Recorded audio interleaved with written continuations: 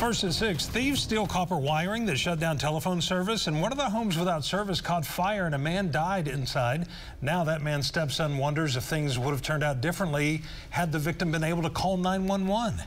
Thanks for joining us. I'm Craig Day. And I'm Lori Fulbright. News on 6's Amy Slanchik joins us with that story. Amy?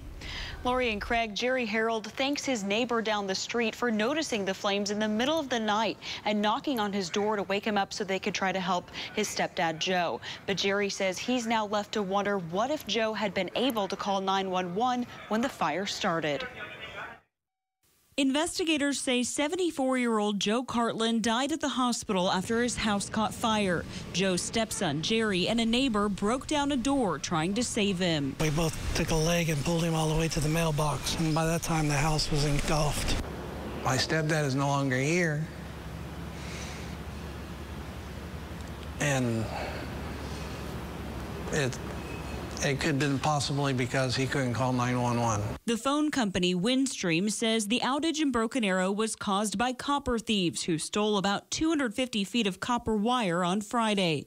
Windstream says the thieves left behind about 800 additional feet of cable on the ground.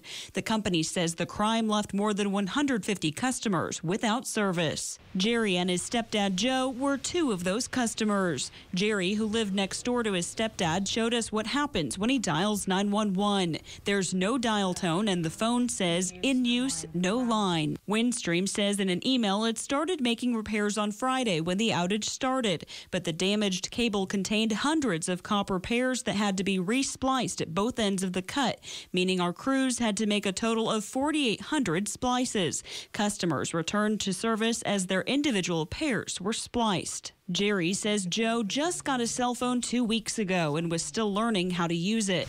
He realizes he'll never know if his stepdad tried to make a 911 call. It's the what if that gets you.